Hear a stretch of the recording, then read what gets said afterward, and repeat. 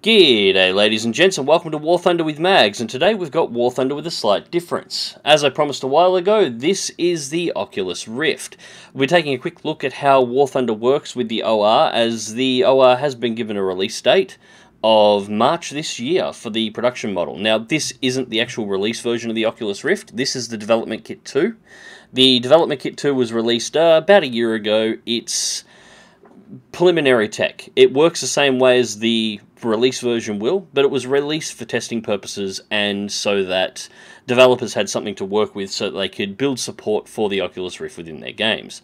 Now, originally I was going to do this using a normal replay of my flight and just show this as a secondary window, what you're seeing on screen now, the actual raw footage from the Oculus Rift. I've been requested not to do that. The reason is there is something that you guys can do without getting an Oculus Rift to view this video to see how the tech works. It's called Google Cardboard. It should be on screen right now if I've edited this correctly. Now, Google Cardboard is literally a cardboard box that you fold up and you slot a high resolution phone, smartphone, into. You then look through the holes, and it gives you the feeling of what uh, uh, what the Oculus Rift and other VR devices will be capable of doing, without actually having to go the money of purchasing one yourself.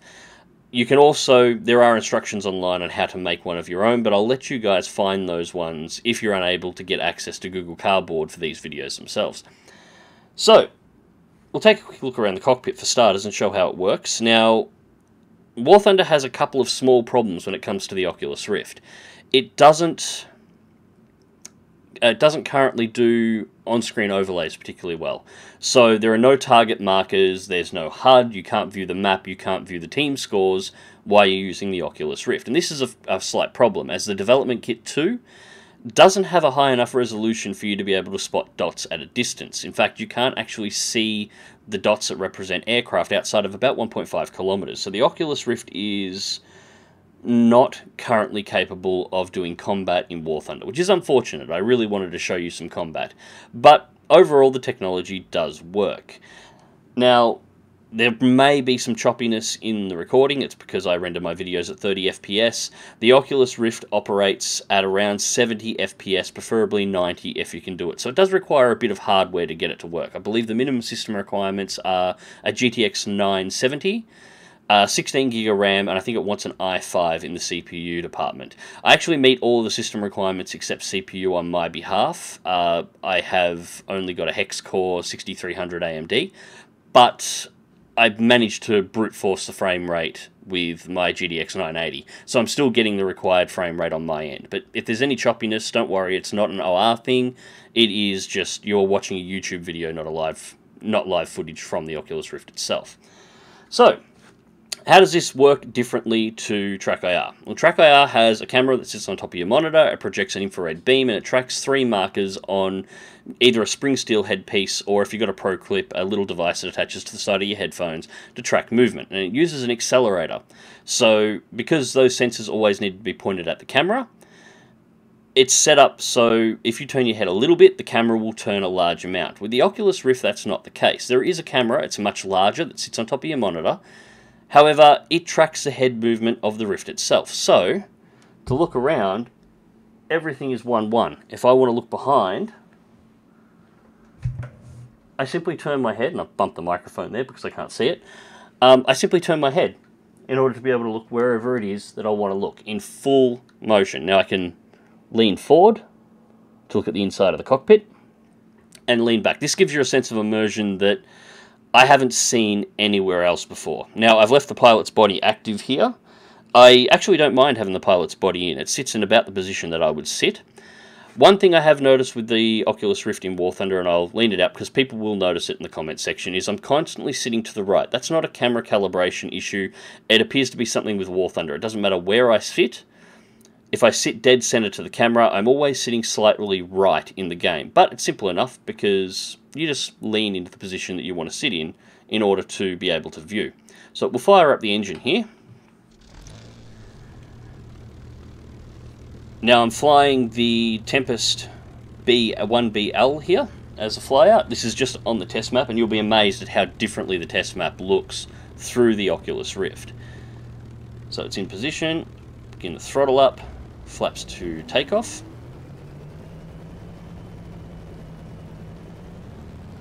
Throttles to maximum and WEP. Just lean out the side so I can check the runway a little bit here. Little bit of nose down. A little bit of rudder tweakage here. I'm drifting slightly. And pull back. Flaps and landing gear retracted. Yep. I'm actually sitting back a little bit too far here. The body is, as you can see, rendered right underneath the camera, which is great for positioning, but it means if you lean back a little bit too far, whoa, better push the nose down before I stall, and you will uh, you'll clip through the body. So this is the British test map. And as you can see, things look slightly different. It's hard to describe how this looks. I hope some of you can get access to something like Google Cardboard or make one of your own to truly get a feeling of how this looks. But this is easily the king of immersion at the moment. There's a couple of TrackIR, or TrackIR, a couple of uh, virtual reality systems that are currently in development. Sony has the Morpheus working, but it looks like Oculus Rift was the first to start development again from the 90s VR, and it looks like they're going to be the first to the retail outlets that you would purchase them from. We'll go over and have a look at the ships over here. So, lean a little bit so I can check my six. Of course, there's no other planes on the test map, but it doesn't matter. I'm just trying to keep the motion slow here for you. I know it's going to clip on the uh, the, the re-render as it is. Now, controlling the plane in the Oculus Rift, it's incredible how easy it is. Because you have you, you have a really good perspective on exactly where everything on your plane is in comparison to you, your ability to fly is phenomenal. Pop this up, go to WEP. And we'll throttle down, good here, stall over the water.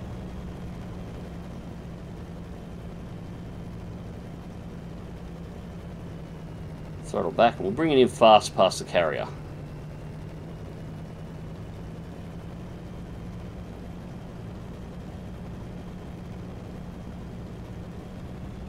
To max. And there she is. So unfortunately in War Thunder at the moment this is all you can do, but it does show exactly how the technology will work. This is, well I don't know if it'll be the be all and end all for sim pilots.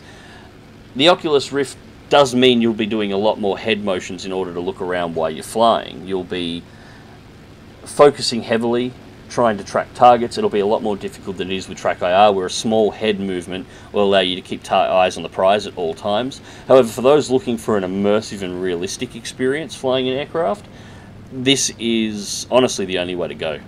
Even in its preliminary state, which is where it is here with the development kit 2, where the resolution is actually low enough that I can't clearly read the gauges that are right in front of me at the moment, I, I, can see the large needles and I know what everything on the gauges is doing because I know the gauges in this aircraft, but I can't actually read the individual numbers. It's still fantastic to fly. The amount of immersion and realism in actually using this is just incredible. There's there's no other way to describe it. Once the release version comes out, it will have a resolution that is probably higher than most of your own monitors. I think at the moment the development kit 2 is only using a single screen. I believe the re release version, I could be wrong here, is actually going to be using two. And they're both 4K or above on the screen quality. I actually don't have the resolutions here, and obviously I couldn't see them anyway, but uh, I've seen the screenshots and I have read the specs in the past, and it looks phenomenal.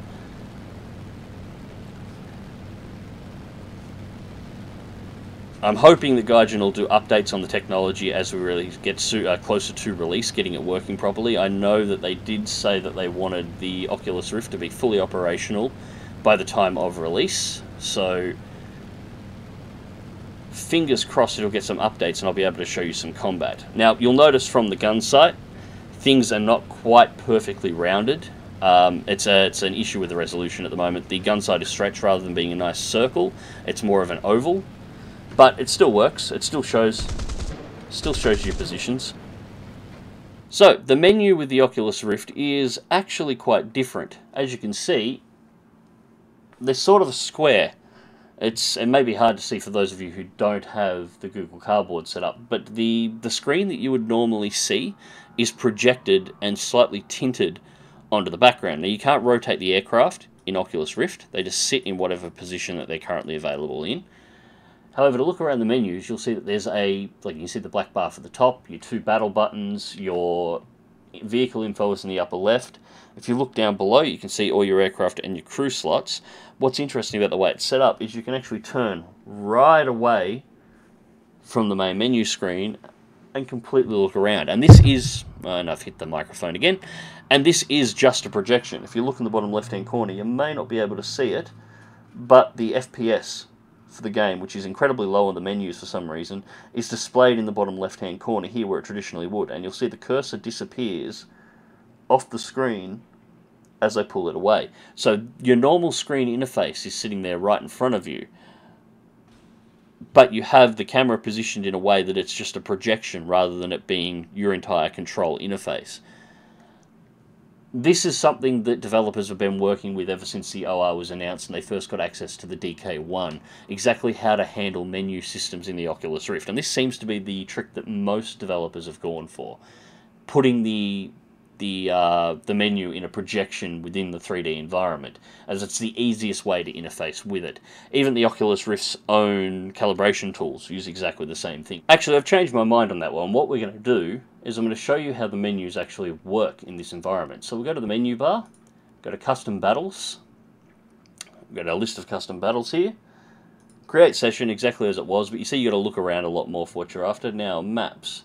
We'll go to an arcade map everybody's played arcade at least once. What have we got here?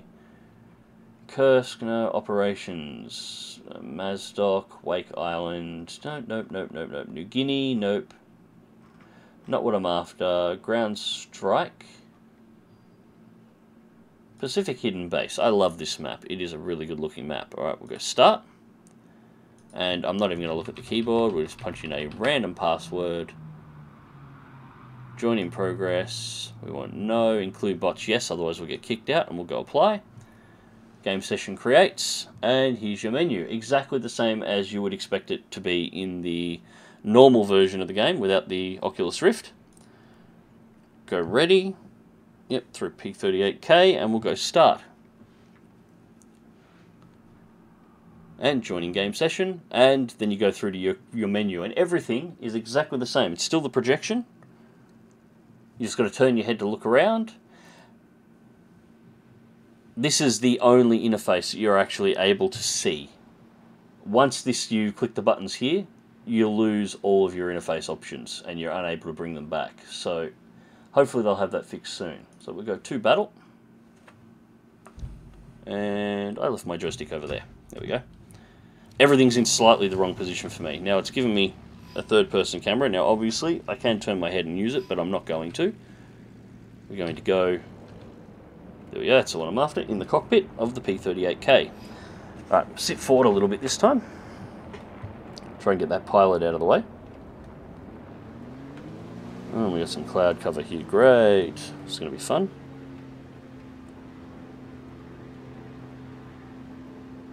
And there she is, Pacific Hidden Base, looking quite a bit different than the last time you might have seen her.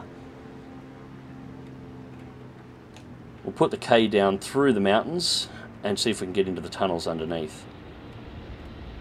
I probably should have tweaked with my controls a little bit more here. I recently reinstalled War Thunder, so I lost my control configurations for uh, my joystick setups, so I really should have played with them a little bit more before doing this. Well, that's getting awfully close. And throttle out.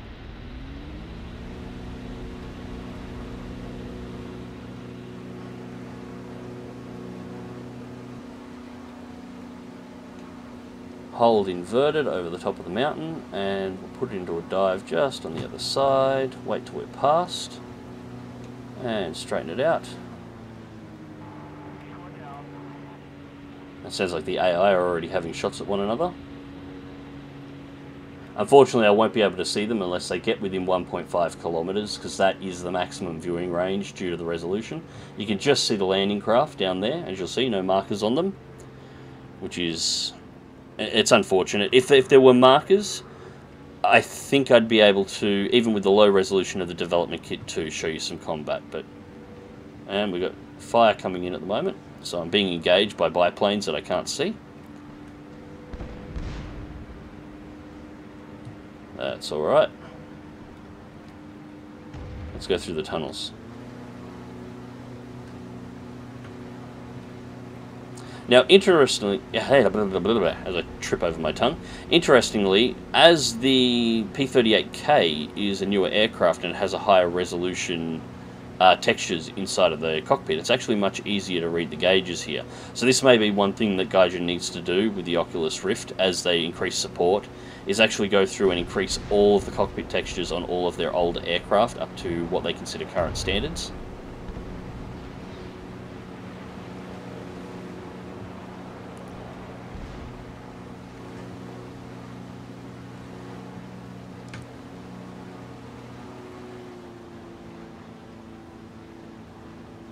And we'll do another lap and then I'll bring it back around.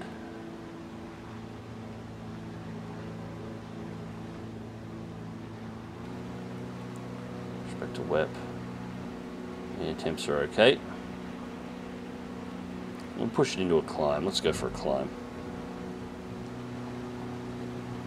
So, if I take my hands off the controls here and I leave it, I think I got it right.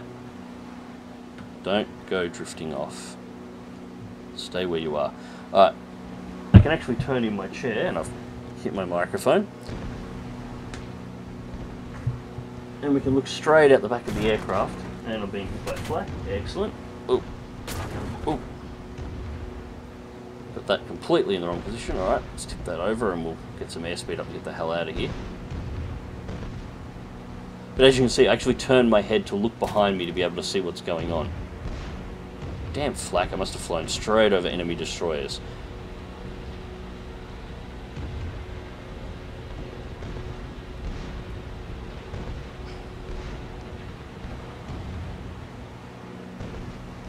Just checking my left wing is... Oh! Oh! What the hell got me? Ah, AAA took me out. This gives you a basic idea of how the Oculus Rift works. All in all, the technology itself is very good. It does need some time to mature, especially in War Thunder. Uh, they've got to do a little bit of work for it, but with... Well, they wanted support to be fully operational by the time that the Oculus Rift went live, so I'm assuming they're going to be doing a lot of work on this over the next three months, as the release date is in March. Now, the Track I, uh, the Oculus Rift technology, so used to saying Track IR, I just keep repeating myself on it. The Oculus Rift technology is about $600. US is going to be the release price for it, which is a little bit higher than they were anticipating, although they never gave a firm release price.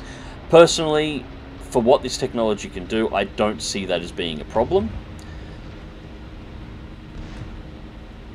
Considering what you're doing is basically strapping a 4K monitor to your head with some of the most advanced motion tracking that is available to the public running it so you can use it in we're going out past these destroyers again so you can use it in a way that there's really been no tech in the past that has ever been able to do this. And there's the runway. Yeah, I'm to get blasted by AAA again. Here it comes. Oh, god damn it. Same place as last time. I really should stop going into this section of the island. Oh, oh, oh, that hurt. That hurt. That hurt. No, oh, not good, not good, not good, not good. Alright that's enough of me getting blasted down by base AAA, I think. This is the Oculus Rift. This is how it works. As I said, it's going to be about $600 US. It's impressive tech. The price is about what I would expect. I think it's going to be worth it. I'll be ordering myself one of these, of course. Overall, I'm very impressed, and I think it's the way forward for simulation gaming. I strongly suggest anybody who has the ability to do so, get their hands on Google Cardboard. Otherwise, find a way of making it yourself so you can check these out. I think it's really worth your time, and it's a very cheap way to find out if the tech's worth it. or at least worth it to you. As you can tell, I'm already sold on the tech completely. I'm looking forward to doing some more OR videos. I will be doing some more this week. This is War Thunder. There's not a huge amount I can do within the game, unfortunately. However, I have DCS World to have a look at, and then I'm going to see whether or not Subnautica and a few other games that I have floating around that support the tech have updated their clients so that their support is up to date. I believe DCS is working fully now, and that one's definitely got a lot more to do as the cockpits are fully interactive, so I can show you how that works. Anyways, ladies and gents, I hope you enjoyed this brief look at the Oculus Rift technology and how it applies to the type of games I cover on my channel. Click like if you do, subscribe if you want to see more. Fly smart, fly safe, and I'll catch you in the skies.